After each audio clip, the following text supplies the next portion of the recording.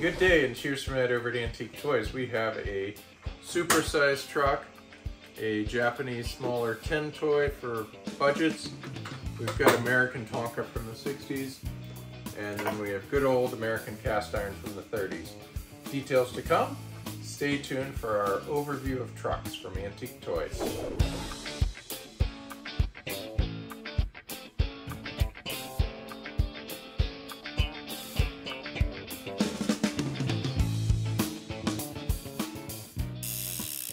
All right, so let's get started with the big elephant in the room. It is a Buddy L, circa 1930. Uh, 1930, they had some great features. They added some headlights, some nickel bumpers, uh, rubber tires, and then they went for the gusto. They decided to put dualies back here in rubber, uh, Firestone branded. And the best of the best of that 30 and 1929 time had doors. So um, let us know if you have a door toy from Buddy L in your collection.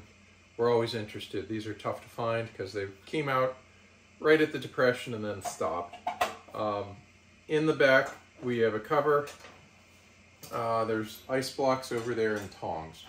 Uh, our particular example is made by T, T Productions, uh, but it was made to exacting detail. I think some of the parts were made in the US too, and it was a fully licensed Buddy L toy circa, I think, late 90s, early 2000s. So this will be on our site shortly.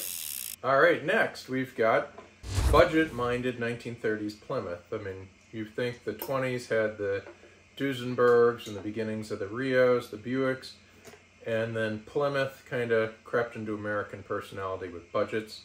Uh, and likewise with this particular toy, it was a budget toy of the Great Depression. It was right around five inches long but it's a wonderful arcade nickel grilled uh, toy. Nickel grills were an evolution where they added some glitz but kept the budget reasonable. And ours has petrified rubber tires on it. You jump to the 50s, economy 50s. Uh, the Japanese were just coming out of uh, World War II bombings and they only could use certain materials like cans and so America imported these by the thousands. They were Jeeps because after they lost the war, the American thought was let's just give them something simple like a toy industry. And they asked the GIs to use tin, so they created this a lot of times out of recycled GI food containers, tin, tin containers. Uh, it's a super humble beginning, but obviously the Japanese ran with the idea of being toy industry people. And uh, to this day, they dominate, I'd say, maybe 50% of the toy market. So, telephone Jeep, humble beginnings. Okay, stepping forward from the 30s, uh, we jump a little bit. We get into the 60s, and the 60s had kind of that cool vibe, you know, like, oh wow, okay. let's do a cab over the engine, and let's make it look almost like a hot rod or a Hot Wheels design toy. Uh, this is a uh, Tonka toy.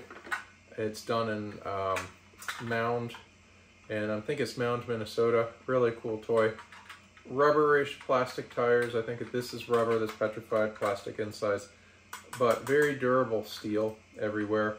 And you gotta love the purple.